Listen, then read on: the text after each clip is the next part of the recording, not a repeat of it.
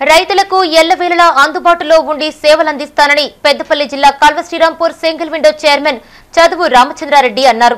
మండల కేంద్రంలోని ప్రాథమిక వ్యవసాయ సహకారం సంఘం కార్యాలయంలో ఎమ్మెల్యే దాసరి మనోహర్ రెడ్డి సమక్షంలో ఆయన చైర్మన్గా బాధ్యతలు స్వీకరించారు. రైతులకు మెరుగైన సేవలు అందించాలని నూతన చైర్మన్ పాలక వర్గానికి ఎమ్మెల్యే సూచించారు. ఈ సందర్భంగా నూతన చైర్మన్ రామచంద్రారెడ్డి మాట్లాడుతూ తన ఎన్నికకు కృషి చేసిన ప్రతి ఒక్కరికి కృతజ్ఞతలు తెలిపారు. ఈ కార్యక్రమంలో MPP నునటి Sampath ZPTC Tirupati Reddy MPDO Kishan తహసీల్దార్ వేణుగోపాల్ సీఈఓ శ్రీనివాస్ తదితరులు పాల్గొన్నారు.